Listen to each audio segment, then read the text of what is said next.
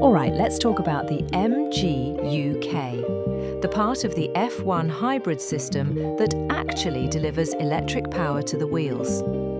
Its working is almost similar to the MGU-H. In a normal car, when the driver slows down, all that energy is wasted as heat. But in F1, the MGU-K captures that energy while braking so it actually provides a braking effect on the rear axle as it sends the recovered energy to the battery. That's one of the reasons why F1 rear brakes are smaller than the fronts.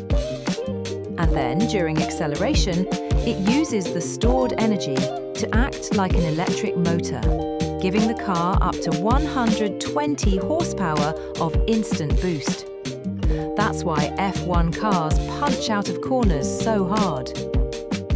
From 2026, the MG UK becomes even more important because it will supply nearly 50% of the car's total power.